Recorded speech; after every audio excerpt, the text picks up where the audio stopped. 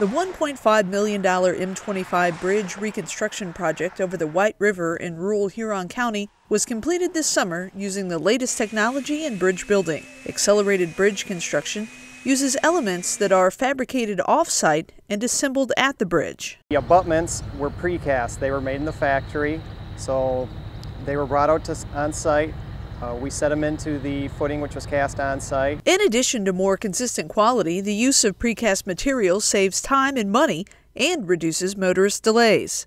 The detour for this project was removed three weeks earlier than it would have been with traditional construction. The structure sits less than nine miles south of Harbor Beach. The original bridge was built in 1952 and removed in late April, making way for the new 48 foot span, which is slightly longer than its predecessor. Eight concrete box beams were put into place to create the two lane bridge. Steel cables run through the beams to hold them together. Once we get the beams set into place, we'll pour the diaphragms, we'll pour the back walls that go between the beams over the abutments, and then we'll put the post tensioning cables through the conduit you see in the beams, and then we'll tighten them together, and that'll hold the beams from separating. The Michigan Department of Transportation is dedicated to providing the highest quality integrated transportation services for economic benefit and improved quality of life.